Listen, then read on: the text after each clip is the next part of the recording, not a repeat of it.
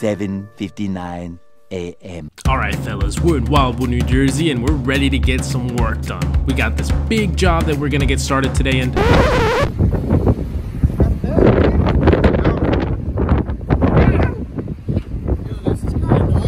I know. Alright, so once again, this wind is not letting us do anything, so what are we gonna do? Yo, Pablo, What's up? we're going to Ventnor? Yeah. All the way to Ventnor City. Um,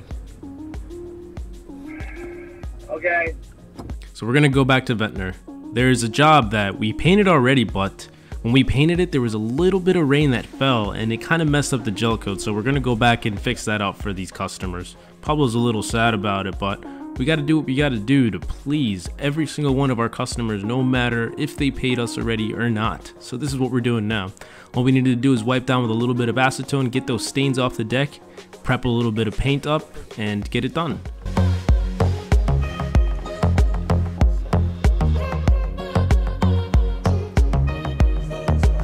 How much have you put, Pablo?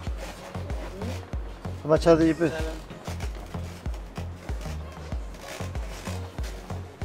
And just like that, even though it's a little callback, it's no big deal. We gotta get it done. ¿Qué pedo, güey? Later. So we're back in Ocean City, and of course we get hit with the unexpected. We thought we were gonna get something easy, you know, simple dirt bed replacement, but no. So what happened here? What's going on? Lo que pasa es de que se metió el agua. El agua siempre busca la manera cuando la fibra no está bien hecha.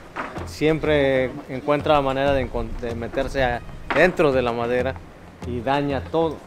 Entonces el caso es de que las columnas no estaban bien forradas.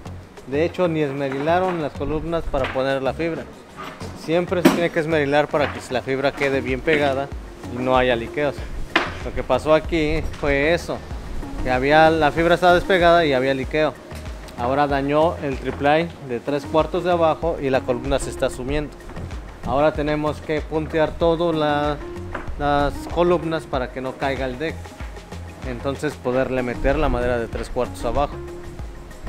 De ahí vamos a poner la de media, la de Easy Plywood, que es la que lleva la fibra, es algo adecuado para la fibra, pega bien de lo cual nosotros tenemos que esperar a que diga el cliente qué es lo que quiere. Solamente ellos van a poder decir sigan adelante o es decisión del cliente. There's no complaints today, but just just so you can see, just because your deck looks good from the surface doesn't mean that it was built well. See how it turns out tomorrow. Goodbye.